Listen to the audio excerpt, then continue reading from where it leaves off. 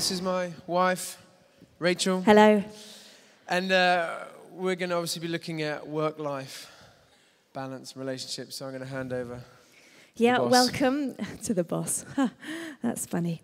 Um, yeah, welcome this morning. Um, we, we're guessing that probably a lot of you here are married. Um, some of you will have children. Some of you might not be married, might not have children. Some of you might have little children. Some of you might have grown up children. And so we, we're wanting to speak sort of in general principles. Um, but obviously, because, it's, uh, because of the topic being work life balance, we're going to be drawing on a lot of our own experience.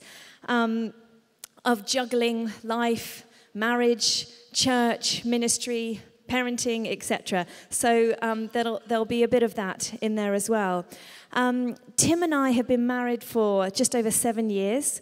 And we've got three um, lovely little children. We've got Phoebe, who's four, um, Simeon, who's two, and Lois, who's one. And as you know, Tim uh, works at HTB as the director of worship. He also heads up Worship Central, and he's training to be a vicar at the moment as well. Um, I am a stay at home mum. Uh, I used to work in television production, what feels like a very long time ago. And um, two years actually before our daughter was born, I, I left my job there and came and worked at HTB involved in their video and creative department. And, um, and really, actually, when I left for maternity leave, I knew that that chapter was closed. It, was a, it felt like a, a good ending, it was a good decision. And, um, and we made the choice together that I would be at home, that would be my role, I'd be at home with the children. Um, and actually, now I'm involved on a voluntary basis in heading up a ministry called MOLO, very catchy name, I think, which stands for Mums of Little Ones. And um, I do that, as I said, on a voluntary basis, sort of in the evenings. I have one afternoon dedicated to that.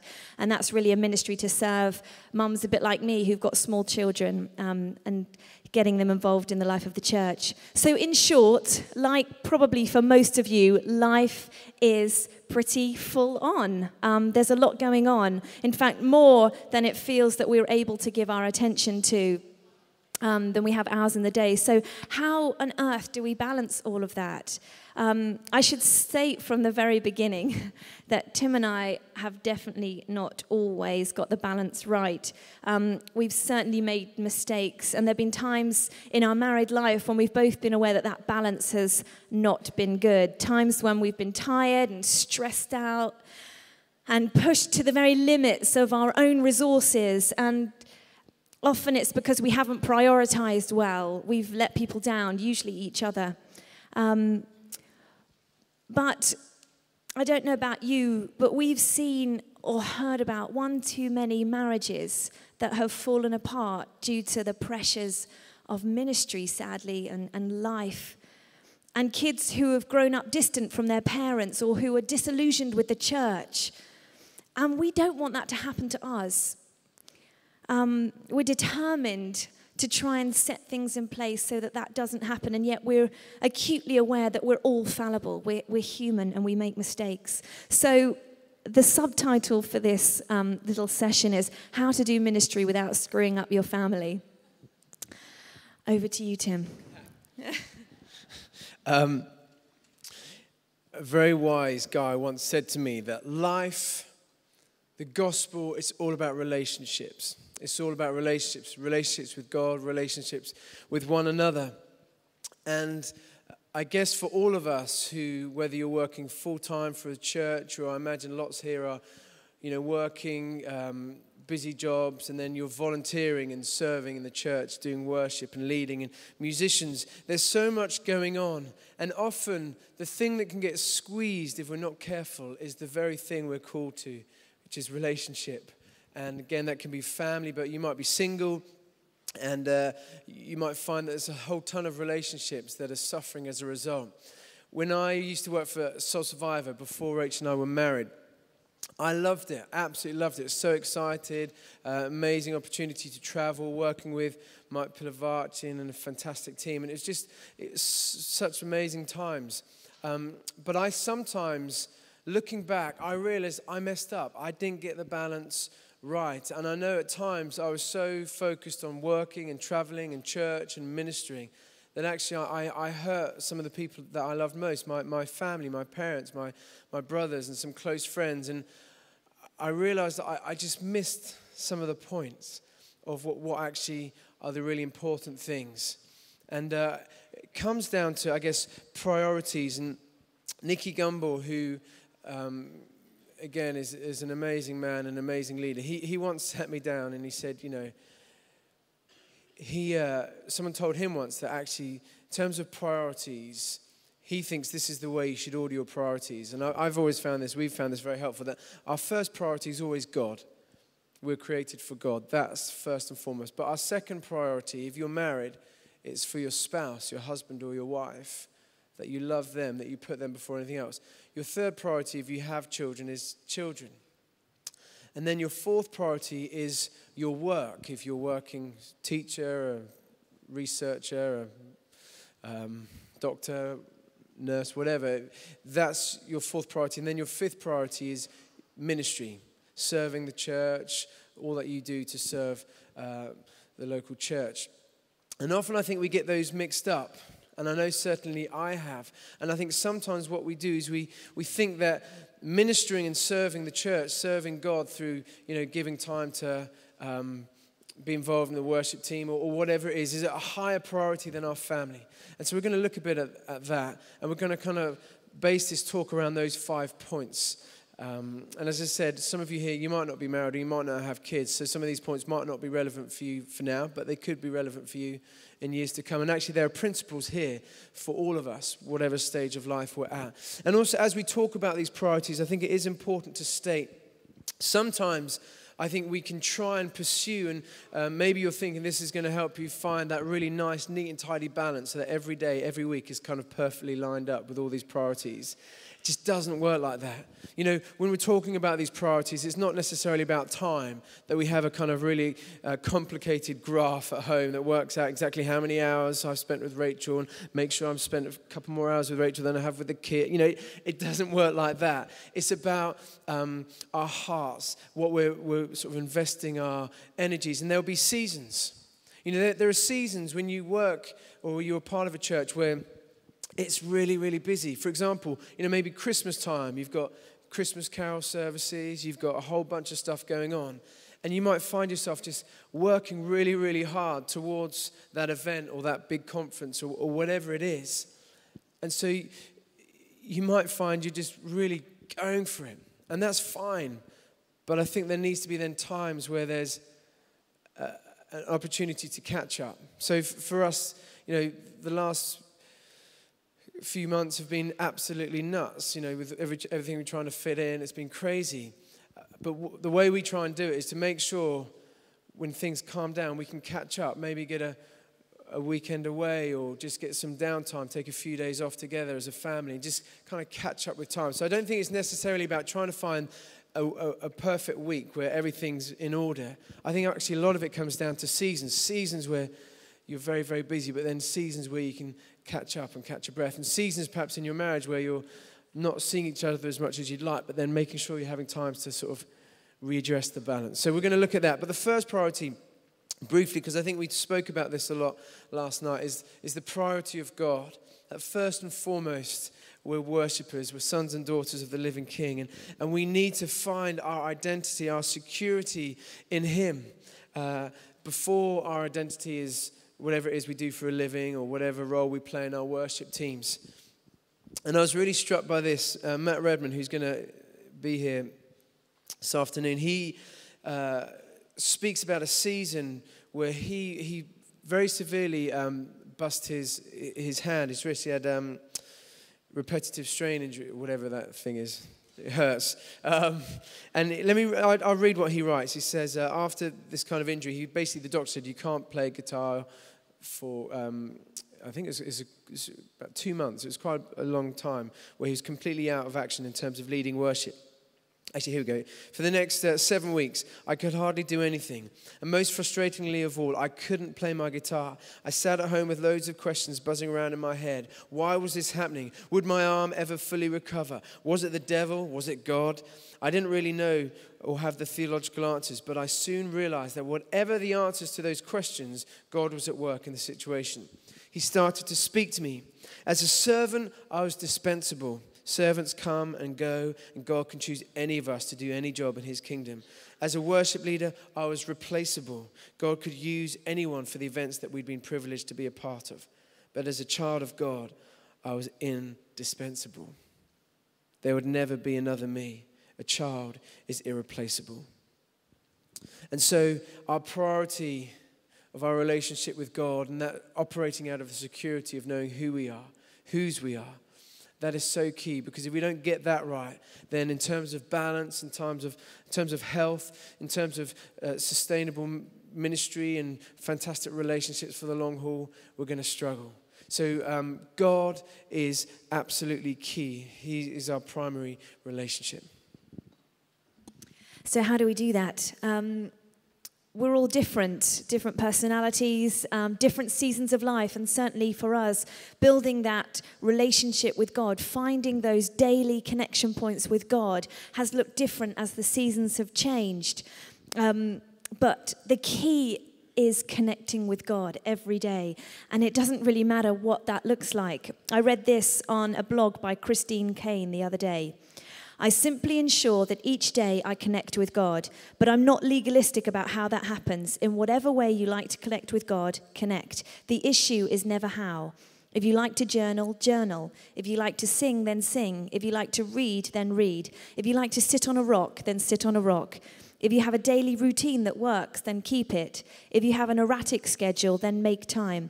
Connecting with God is a heart issue, not a behavioral issue and it looks different in everyone's lives. We are not robots. And while we can be inspired by each other, we ultimately have to do what works for us.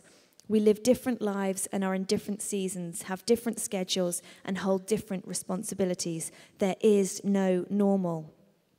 Tim and I live under the same roof, um, but we're very different. And we have different schedules, different pressures. And certainly for me, since having children, the challenge to find that connection point with God every day um, has been tricky. Certainly when my babies were really little, um, newborns, there was a lot of sitting down and feeding, and I was knackered. I was absolutely exhausted, really sleep deprived. And sometimes the only conscious connection point I would make with God would be sitting on a chair, feeding my baby, and I would sing very badly worship songs to God. Often I would murder Tim's songs. I could sort of hear him wincing down the corridor. But it was the only thing I had to give. And um, that I really met God in those times of being tired, but that, that was it. I, I couldn't pick up my Bible, to be honest, but I could sing. And so that's what I did. But now I'm in a season where my kids are just a little bit older and they're sleeping through the night, just about and I can I can set my alarm to be up before they are and I can spend some time with God then and it's a killer I'll be honest but I know that if if I'm not making those connection points with God consciously every day everything suffers it's so different when I'm in a rhythm, not necessarily routine, just a rhythm of finding time to be with God every day. So that's really the encouragement um, if we want our foundations to be set, if we want our identity to be, to be uh, set in being a child of God, then we, we it's simple, isn't it? We all, we all know it. Um, it's kind of the basics, but we have to find time to consciously connect with God every day. Actually, Tim very cheekily stole something from me yesterday. In his talk, he mentioned um, a little thing that he'd heard Heidi Baker say. I had that in this talk, and I read him the notes yesterday morning, and he nicked it and put it in his talk last night. But we didn't we say what's mine is yours? I inherited your student debt. oh, sorry. Hang on a second. I actually can't believe that Tim just dragged up my student debt. Wow. Wow. New depths, Tim, new depths. anyway, so I'm going to say it again because I think it's really good. Um, Heidi Baker said in a talk um, that we heard over the summer greater intimacy leads to greater fruitfulness. Greater intimacy leads to greater fruitfulness. For us, that was just so profound that we can get so caught up in doing, in action, in being at every meeting, at um, doing everything on our to do list. Um, but unless we are finding connection points with God, consciously connecting with God every day, what's the point? What's the point? And in fact, you know, it's that that amazing economy of the kingdom of God that actually when we take time out of doing and just find time to be with God, often our fruitfulness is that much greater. And don't we all want our lives to be fruitful? So the next one is spouse. The next priority is spouse. So over to Tim. As I mentioned, uh, obviously I've got to be very careful what I uh, say here, and you're probably thinking Rachel's written this part of the talk for me. But um, my priority after God, I believe biblically, is Rachel, my, my relationship with Rachel. That before um, anything else, when you get married, you make these vows to, to honor that person, to love that person, to, to, to live together um, forever with that person. And I think sometimes we can get confused because actually, when we talk about church work, we can think, well, that's God's work. That's God's stuff. So that's got to be more important. But actually, marriage, family, relationship, that's also God's stuff, kingdom stuff. And we must never, ever um, make the mistake of thinking church activity is more important than any other activity. We're part of the kingdom of God. And uh, I heard an amazing talk by a guy called Andy Stanley. He's a, a pastor in America, a church, large church in Atlanta.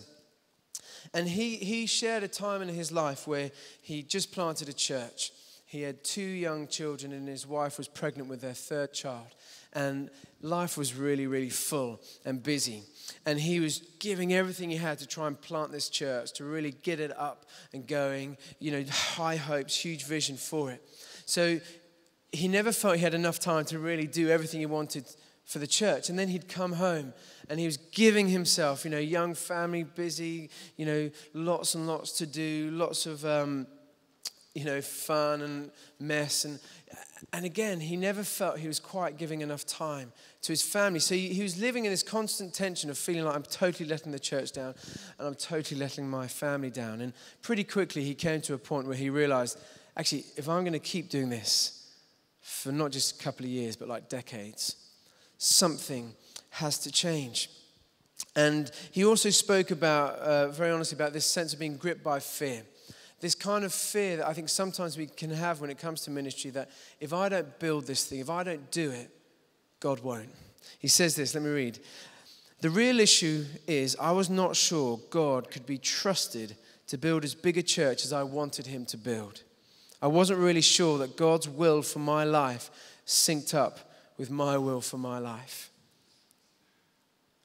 I so relate with that. Sometimes we have high hopes for our worship team, our songwriting, our whatever it is. And the fear is, God, do you have that same view? And,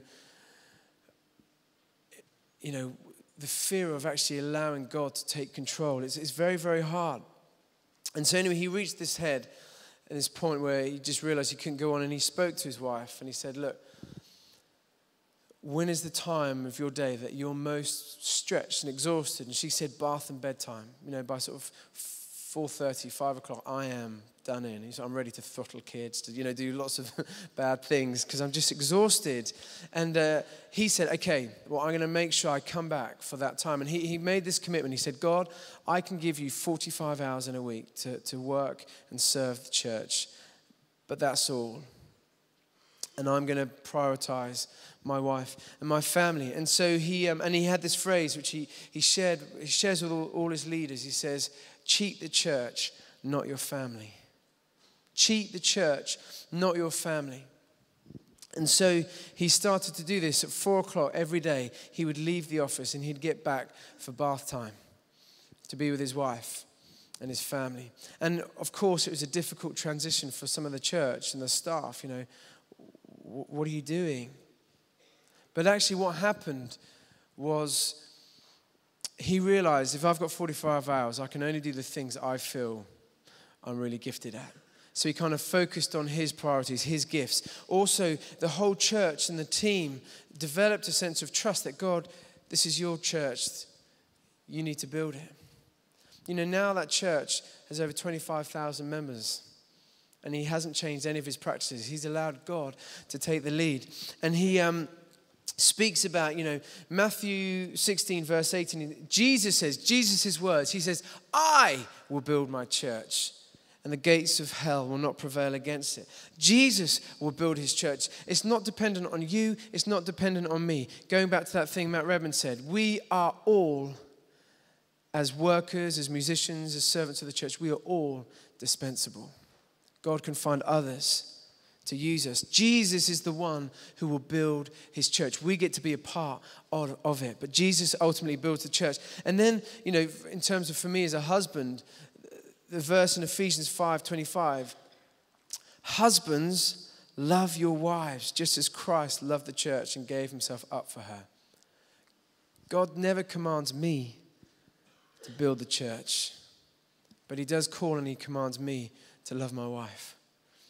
And uh, again, Andy Stanley, he says this When I look at these two concepts, these two verses, and I put them together, it freed me up because I was never commanded to love the church. I was commanded to love my wife, and I was never commanded to build the church. Jesus promised he would build the church, but somehow in ministry we get these things confused so easily. We say, I'm going to go and build the church. Meanwhile, God, I need you to watch over my family. So, for us as a couple, as a family, the way that practically worked out um, is I always leave the office at 5 p.m. I get on my bike, I cycle home, I'm back for 5:30 to be at home to do uh, tea time, bath time, to be there with the kids before they go to bed, which is such a special time as a family. And it's a way of priority, prioritizing Rachel. It actually, more than sort of even more perhaps than being with the kids, it's a way to say, Rachel, I love you so much, and I love you that I want to do the best for you, to make sure I can support you when you're perhaps most exhausted. You know, I, I, I want you to thrive. I want to see you, uh, the best in you, and I want to support you.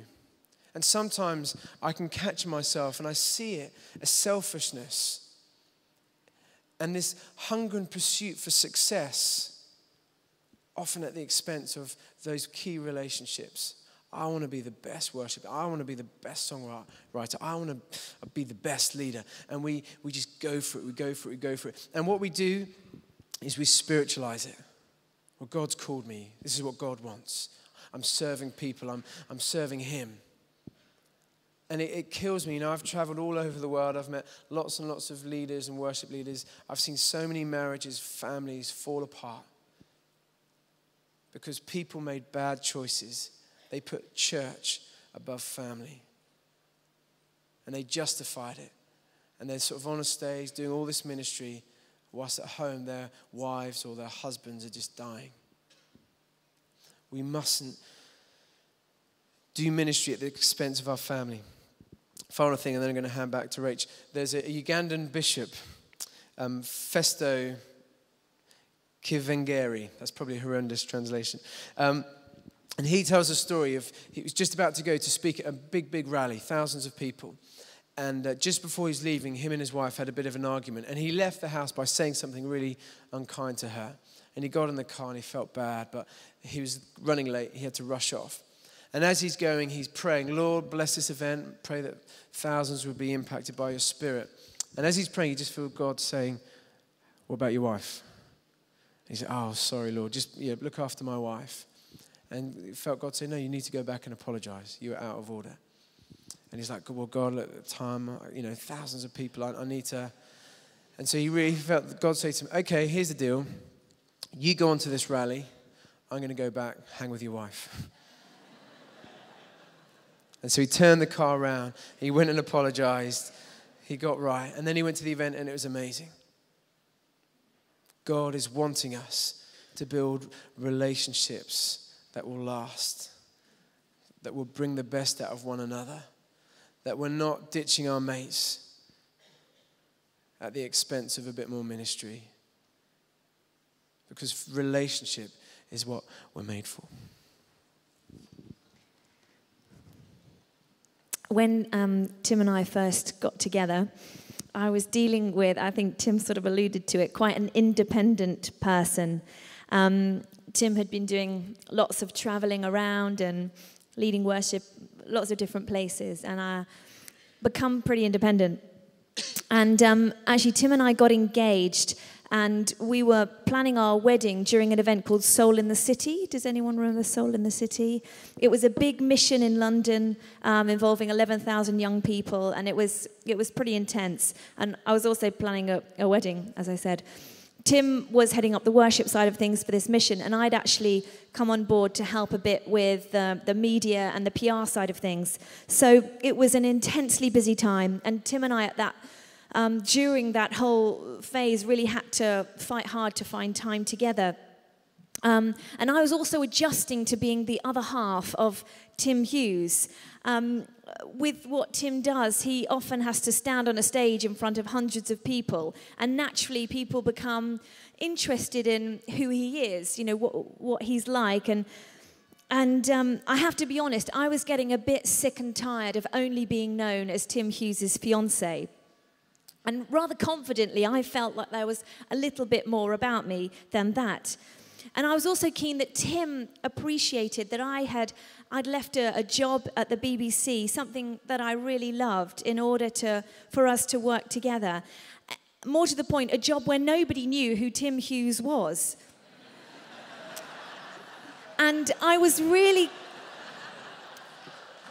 Thank you. I was really keen that our lives didn't become uh, didn't start to revolve around everything that Tim did and everything that he was involved in. I should point out that Tim is one of the most humble people I know. It wasn't his attitude, um, but more the environment that we were in. Anyway, I had been asked to do a radio interview as part of this PR job for um, yeah, a, a, radio station. Now, radio interviews are something that Tim's really used to. He does, he does a lot of them. But for me, it was quite a new thing. I was a bit nervous. I was anxious to get it right. And I was also very keen that Tim was listening, you know, to support me and help me and give me some feedback, that sort of thing. Anyway, this, um, this, this radio interview was scheduled for a Saturday morning. And so I had to make a special trip into the office um, to, it was a phone interview, so that I could do the interview over the phone. Um, Tim knew when the interview was happening, what the radio station was, and he was at his house. So I went into the office, phone rang, did the interview, and you know, thought it had gone pretty well, and um, hung up the phone, and I, I waited for Tim to call me. Nothing. No phone call. Thought that's a bit strange. Waited a couple more minutes and thought, oh, he's got distracted or something. You know, I'm quite stubborn, so, so I'm, I'm not going to phone him. I'll wait for him to phone me. So um, 20 minutes later, no phone call. So I eventually relented and I picked up the phone and phoned Tim's number and he picked up the phone, very breezy. Hi, babe. Like, silence from me. Hello, you all right? Yes. Uh, what, what have you been up to? Oh, you know, I've just been playing on the PlayStation with Rob. That's his, that was his housemate at the time. Oh, silence from me. And um, what, what's the time? What? Uh, oh, the time is, oh no, babe, I'm so. And then I just hung up the phone. I know, very immature, not, yeah, not the best response. And of course, Tim phoned immediately back, but I, I was too furious to pick up the phone. In fact, I switched my phone off for about an hour and just let him sweat it out because I was not a happy bunny. I couldn't, I, I just couldn't believe that he wouldn't be, be listening.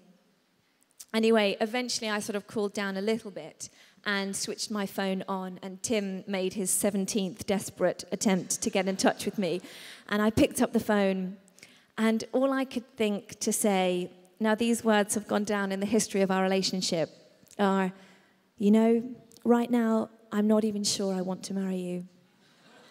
Because either you're inherently selfish, or you just don't give up. And at that point, I did actually use a rude word, which I won't repeat here. Um, and neither were an attractive prospect to me right now. Um, yeah, I'm quite tough, aren't I? I realize that. Need to warm to me. I'm not a horrible person, I promise. Anyway, Tim was very apologetic, and we realized that there was stuff that we needed to work through. My swearing habit was one of those things. and, um, and thankfully, things have changed a lot since then, and we're, we're on great terms. I have forgiven him, as you, as you can see.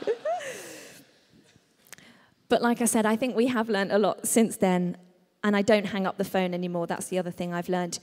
But being a mum at home is um, a pretty hidden season. I don't know whether there are any other stay at home mums here or spouses of mums with small children, but it's quite humbling, um, hidden, and and yet, being at home with the kids is something that we chose together as a couple. That doesn't make that choice always easy um, in the day to day. I know it is such a privilege to be a mum. I don't want to take that for granted for one single second. But when I left for maternity leave, um, Tim and I were working together. I was part of the church life here. I felt sort of right in the thick of things. Um, I felt like I had a role to play. And leaving that behind was really hard. Um, don't get me wrong, like I said, I would not give up being a mum for anything, but the sacrifices have been big and the hours are very long and the rewards are few in the day to day. And at times over the last few years, I've had moments of being pretty disgruntled. It's felt like at times Tim gets all the good bits. You know, he gets to go off, do what he loves, get to church, see God move. And I feel like I'm at home changing pooey nappies a lot of the time. Sometimes I feel like I'm missing out. And I know it's not always easy for Tim either. But being a worship widow on a Sunday, as Liv Gordon and I sometimes call it, can sometimes be tough.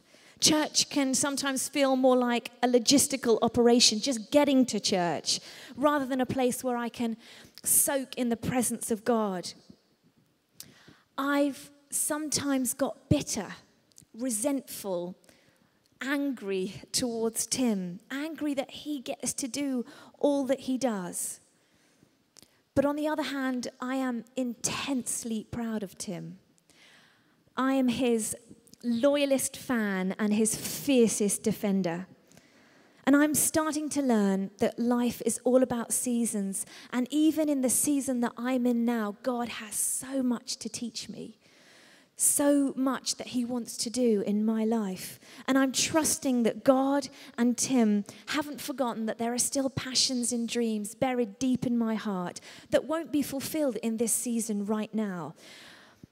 And that there's grace for my little outbursts every now and again. And at times, I think Tim hasn't quite known how to respond to my feelings because there is no easy fix. We made the choice for our lives to look like this in this season. And of course, he has his own callings and responsibilities, but the key is to prefer each other. To, and for me, to prefer Tim means that I am actively involved in what he's involved in, that I'm, I'm interested in all that's going on that I can support him, that I can encourage him, that I can pray for him, that I can spur him on to be everything that God is calling him to be right now. And for Tim, I think that means appreciating the sacrifice that I make at the moment to be a mum at home, to encourage those, to encourage me in those small and seemingly trivial things that no one else sees, no one else knows about to fight for me, to have times where I can just step out of the mundane every now and again, to pray for me, to spur me on to be all that I can be in Christ. As well as that, I think we need to remember that we're not just housemates, we're not just parents to our children, but we are husband and wife. And we need to nurture that relationship. We need to be finding times to regularly put aside all the other roles and responsibilities that we play in our day to day life and just have fun together. to find times to be together, to enjoy our, each other's company, to go out, to stay in, to be romantic, to find ways to love each other. Tim and I um, did the marriage course at church a couple of years ago. I think it was just, I think we were, I was pregnant with our second son at the time, and it was such a great thing to do. We rallied round a bunch of babysitters, uh, and um, we were able to do this course. And I can't recommend it highly enough. If your church runs the marriage course and you're not doing, you haven't done it yet, go and do it. Go and run the marriage course if you haven't got it at your church. Or if you live nearby to HTB, come and do it here. It is such a valuable thing to do as a married couple. And one of the best pieces of advice that we took from the marriage course was the concept of date night. And the ideal is that once a week you set aside a date night. Now, be honest, it doesn't always happen once a week, but probably at least once every other week. And it's just a chance to be together where you make a decision to switch off the TV and put away the laptop and, and talk to each other. Sounds so simple, doesn't it? And um, that doesn't have to be sort of expensive meals out, although that can be nice once in a while. Hint, hint. no, he's pretty good at that. And, you know, it, it can just be a walk by the river, a romantic coffee, something. A, again, a conscious decision to spend time with each other. I know like, when our babies were really little and getting a babysitter in what, you know, wasn't practical just a takeaway with the TV switched off and, and a decision to have a, a good conversation was enough to sustain us. So be intentional. The key is to plan ahead. Put it in your diary. And so if some, something else comes in for that particular slot, you say, No, I'm sorry, I'm busy. Put it in the diary. Date night. One of the best things you can do as a married couple. And interestingly, which leads on to our next one, um, most parenting experts are all agreed that one of the best ways that you can build a sense of security for your children is by loving your spouse well. So the next priority is children. And as I alluded to, having kids kind of turned our lives upside down just a little bit in the most beautifully, wonderfully chaotic way possible. And I thank God every day for our three for the three beautiful little children that he has given us. And I pray about 20 times a day that he will help us parent them well. John Piper um, said this The crucible for refining my soul is marriage and family, even more so than the challenges of ministry. I'm sure some of you here have probably got teenagers and you're thinking, you ain't seen nothing yet. but for us, our four years of being parents has taught us more about ourselves than anything else. And at times it has really stretched us to the very limits. And one particularly stretching day happened, ironically, at the end of a, a pretty miserable holiday, actually, we'd had in, in Cornwall. The holiday had been miserable because it had rained every single day. We don't do well in Cornwall for some reason. And um, our kids had got hand, foot, and mouth disease, which is really awful. It's really, really painful. And it means that they have these little blisters in their mouth. Anyway, so we'd packed up the car we had two, two, our two little ones at the time, and they were in the back of the car, and they were really tired, poorly, not happy.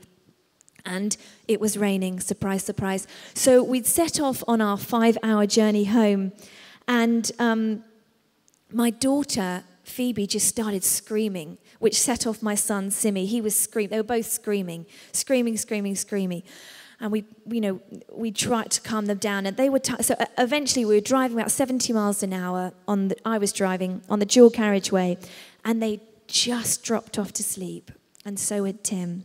And suddenly, this dog just wanders out from the hard shoulder into the middle of the road. And I've got about 10 seconds to make a decision. I'm in the slow lane. There's nothing else on the road, so that's okay. But I'm thinking, okay, I, I moved out into the fast lane thinking this dog is going to look up and realize that it's like on a main road and turn back.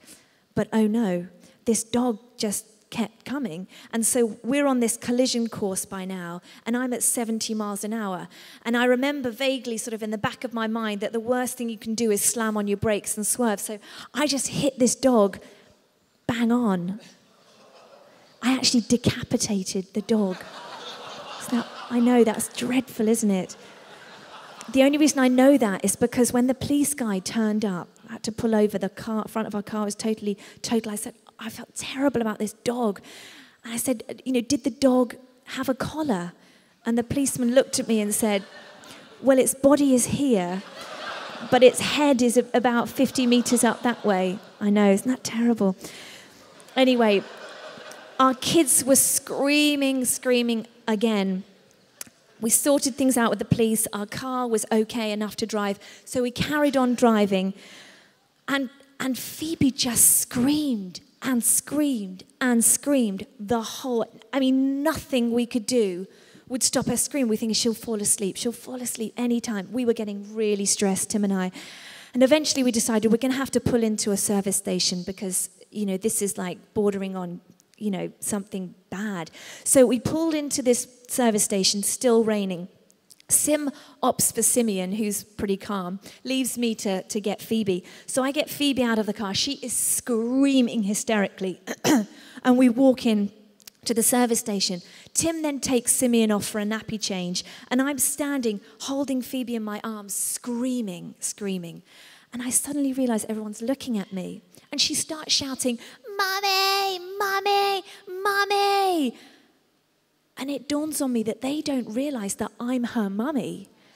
They're thinking I'm some strange woman who's stolen this child, this hysterical child, and we're in the middle of nowhere in the service station, and they're expecting to see my face show up on Crimewatch that night or something. So, anyway, we abandon the service station, back out into the car, more screaming, more hysterical screaming. And um, we're about half an hour from home, thank goodness. And Tim thinks, I know, we'll put on some worship music. Let's put on some worship music, calm them down. I'm like, no, that won't work because we're, you know, we're really not liking each other either by then. So Tim wins. He puts on his worship music. No, I didn't. That was.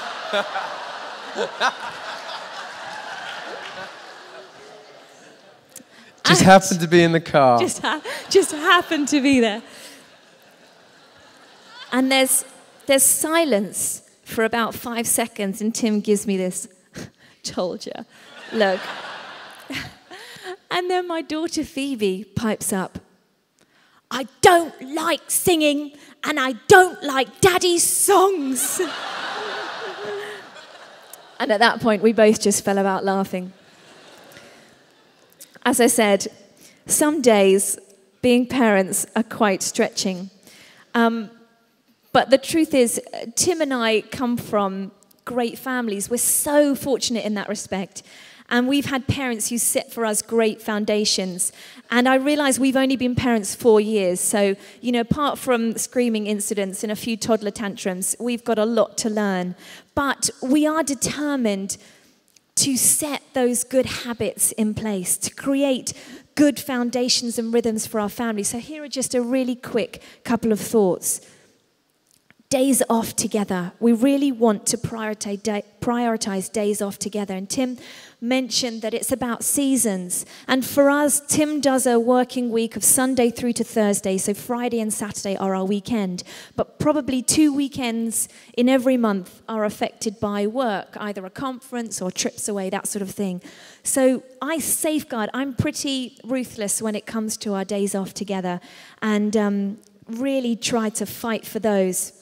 Because I know at the end of the day, my kids love daddy being around. And we only have so much credit in the bank with kids. You know, even if you've been on this amazing two week holiday together, a month later they're like, okay, I want to hang out with you some more. You know, they, they sort of forget about all the credit that you've built up. So I think for us, we try and take things a month at a time. We sit down and we look at the diary. And if in any given month we've got less than two kind of uninterrupted family weekends together, then we need to talk. We need to readdress that balance. we also need to think about what happens on those days off together because home admin can really get in the way. And I've noticed that often for us, a bad day off together, or a family day, as our kids call them, um, is not so much how much we've crammed in the week before, but how well we've planned our day off. The worst days off are when we don't plan anything. Tim wants to do something on the computer. I want to I want him actually to clean out the loft. You know, I'd like to Skype my sister in America and the kids want our attention. So we really try on a day off to make sure that if we've got home admin that needs to be done, trip to the supermarket, whatever, at least one part of the day is spent 100% focused, like as a family, all together. So, swimming, going to the park, anything, doesn't have to be expensive, just concentrated time as a family. Over to you, Tim. Final two things very briefly before we close. God, your spouse, your kids, and then work. For those of you who are in uh, full time jobs or part time jobs, it's never going to be a good witness um, if we're not really doing that with all our hearts. You know, if we're kind of using our time at work to do rotas and learn songs and you know, surf the web and Facebook. Actually, you know, that is part of our ministry. And one of the things we've been doing at HTB is, you know, often we have prayer meetings for a church, and the the way often we do it is people gather and we pray for the church thing that's happening. You know, we've got a church event, let's all gather and pray for that. And the emphasis can be on the church activity. But a while ago, um, Nicky Gumbel really felt what we needed to do was to pray for the people actually ministering and doing mission work out in the, in the world, in businesses, all you know, different sort of areas. So what we do is once a month we ha- have a different kind, or actually every other week, a different area of business that we pray for. So I was leading the prayer meeting, or leading worship at the prayer meeting on Tuesday, and uh, it's for everyone involved in kind of industry. Um, telecommunications and people who are doing that coming together we're praying for them we have them for sort of fashion for doctors and medics for uh, lawyers for teachers for people involved in sport um, all of these different issues. And actually, these are the guys who are doing the ministry, doing the stuff. And we need to bless and honor them and pray that God would use them to be salt and light in those areas. And what an amazing opportunity to interact with people, to love people, to, to be Jesus to people, and to see change. So if you're involved in work, um, I know it must be difficult, and I can't really speak from experience because my work is doing the church stuff. But for those, you know, I have huge admiration for balancing you know, working and then also volunteering and serving in the church. But actually, what you do uh, Monday to Friday or whatever it is you do is essential, and it's it is ministry. It's it's about seeing God's kingdom breaking in. So work fourth. and then finally, church. Everything we're doing serving the church. The church is the hope of the world. The church is not periphery to the world; it's at the center, and the church is what we need to love and serve and be a part of because it's through the church that we can really make an impact, that we can really see change.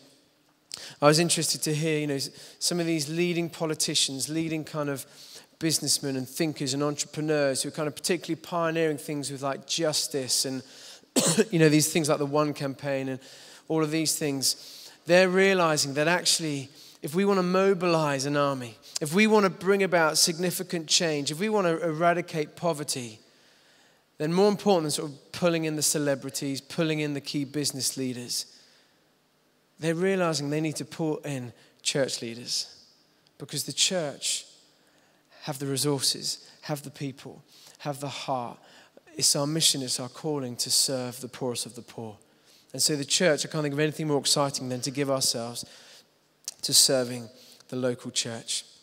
Anyway, there's a few thoughts. There's so much you could say about this subject, but I guess our heart and our desire, really, in putting this workshop on, is that we believe passionately that God is about relationships, that one of the greatest uh, examples we could give to the world, that one of the greatest things we could do is to build healthy relationships, to build healthy families, you know, to raise up children who are secure, who are loved, who feel that they can do anything, to build healthy marriages that actually not only are a blessing to the couple, but actually a blessing to others. You know, it's, it's amazing, isn't it, when you go to someone's house and it just feels like, home. It feels healthy. It feels alive. The, the amount of wholeness and ministry and healing and love that can happen through families like that is amazing. And I know it's a sensitive subject because many of us perhaps come from whether it's broken families or we've been a part of relationships that have broken down and we carry this pain. And the good news is, God is about restoration, He is about healing, He's about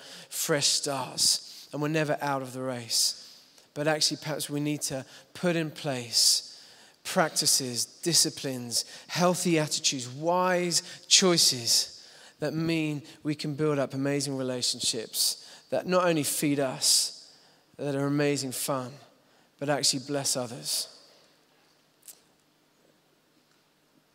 Couple of quick resources, just love to encourage you. One is the marriage book and the parenting book, which will all be in the bookshop at the back. Really, really helpful practical advice. Really encourage you to read those if you haven't. Also, um, I know Martin's leading worship next, but uh, meet Mr. Uh, Smith and meet Mrs. Smith.